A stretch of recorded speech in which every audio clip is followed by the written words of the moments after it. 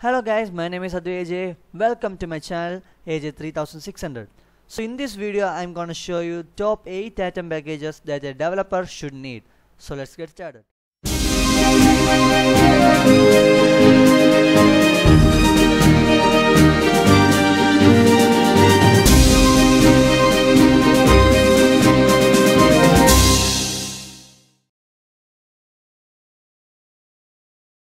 So the first package is Emmet. Just go to your settings and I install and search for the package Emmet. And you can see the first result is the Emmet. So just click on it and click the install button. So this is the official website of the Emmet and you can see the Emmet package in the atom.io. Um,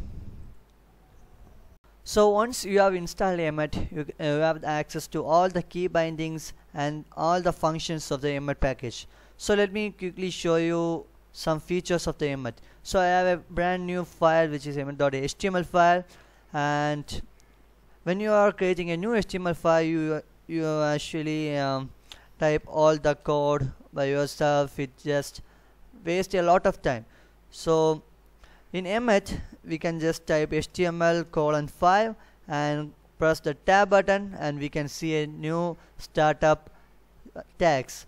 So which contain the HTML tag head tag body tag and title meta tags and everything that we need. So if you want to create a new div tag we can just type div and press tab and this will create a new div tab. And if you want to nest some uh, input inside our form then we can just type form and um, bracket and just type input. And we want 5 inputs so multiply it by 5 and press tab. You can see that we have the form and 5 input info, uh, input text fields. So Emmet is not just for HTML but it also have function around CSS you can go to the Emmet documentation and find out more functions of Emmet or just go go to its cheat, uh, cheat sheet and find whatever you need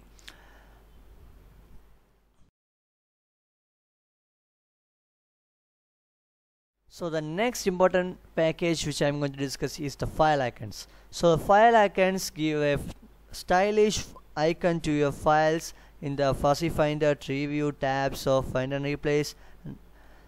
So we can go to our settings, install and search for file icons.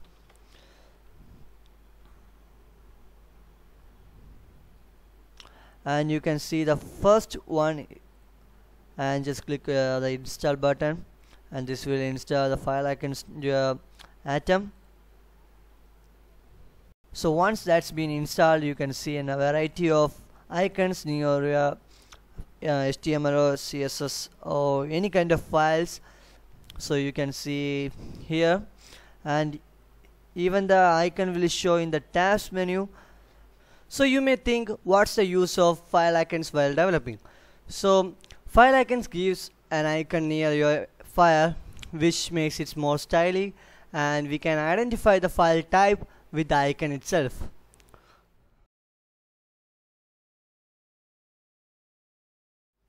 So the next package is highlight selected. So from the name itself you can understand that if you select a word it will automatically find other words and just highlight it. So we can just ins uh, install it just search highlight selected and you can see the first package and just click the install button so once that be installed go to any file you want and just double click on any word you want to highlight and you can see the other words to highlight. So this is very useful when you are working on a large project and you want to see how many words or uh, want to check the spelling um, of something you can see the number of highlighted words down here. So you can just manage by that. So this will be useful for you in some way. So it's very useful for me. So the next package is Linter. So if you are a PHP developer then you should use Linter PHP or if you're kind any other developer you should find the package according to your language and try to install it. So I am a PHP developer so I will definitely install PHP, Linter PHP so what this does is that it just checks all the files and check whether if there is an error or not. So this is very helpful while debugging and developing. So by just installing the Linter PHP is not enough. We also need the official Linter package. So just type Linter and search it and install this Lintr So once you have installed the linter package, you will be asked to install the other dependencies of the linter package. So there are a couple of Linter uh, dependencies, so just click on yes for all the dependencies which they asked to install. so I have now installed all the linter dependencies. So for testing it, we have to go to our .php file and I have some little code written here. So I will just uh, remove this. And you can see an error. So it's uh, the description is syntax error unexpected comma. So we can just easily find the error and fix it. So Linter is a very useful package while you are developing So the next is atom material. So atom material is not a package, it's a theme for our atom. So it's one of the best atom theme which is available now. So for installing it, go to your settings and here instead of searching in the packages, just click on the themes and type the package name and search it. So when you search atom material, you can see the atom material UI and just click the install button. So now we want another package which is atom material syntax for styling our um, codes so install the second package which, which is available right here. Just click on it and click the install button. So once both of them are installed successfully we can go to our themes tab and under the UI theme change the one dark to atom material so it will change in instantly. And under the syntax theme change it to atom material. And that's good. Now if you open any HTML or any kind of file we can see a slight change in the code uh, style. Uh, and we can see a fresh new look to our atom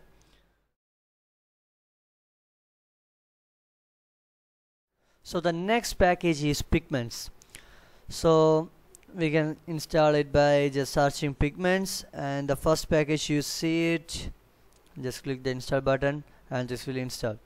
So normally before installing uh, pigments if you go to some kind of style.css files and we have some background color or color stuffs um, we can uh, we have to give the color so in order to check whether the color is correct or not we need to just go to the original page and reload or do something uh, to check whether the color that we entered is correct or not. But if we have the pigments installed we can see the colors just got highlighted.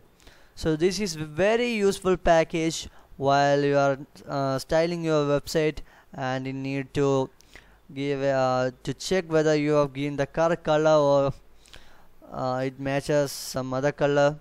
So if I change this color to something like white uh, it will show it instantly.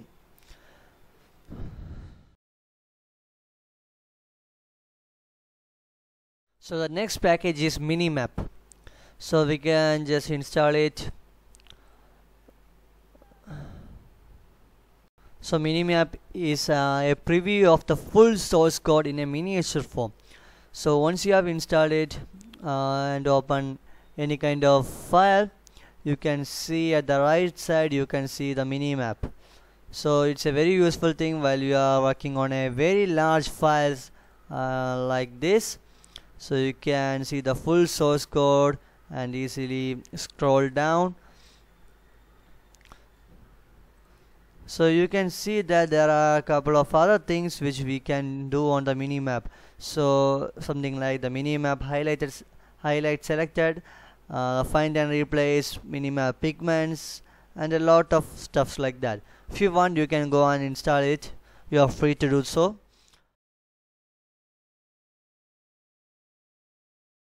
So the next package is terminal so I have chosen the platform IO IDE terminal. So it's one of the best terminal which is available in Atom. So we can just go and install it. So once you have installed it you can open the terminal by clicking the plus sign at the bottom left corner. So you can see a terminal window pop up. So it's a very useful package while you are uh, you are a framework developer and you need to input some codes uh, for a quick reason and cannot open the CMD or your CMD is busy doing in some other stuff. So this is a quite good choice. And you can also hide and create as many as terminal as you want. So there are a lot of settings for this package. You can just give a um, auto run command which will will be run each time you open the terminal and there are much more in this package. So this is this was the last package that I have to show you guys. So thank you for watching guys. Don't forget to like comment and subscribe to my channel. You can always give me feedback and contact me through any kind of social media which I am in. So thank you guys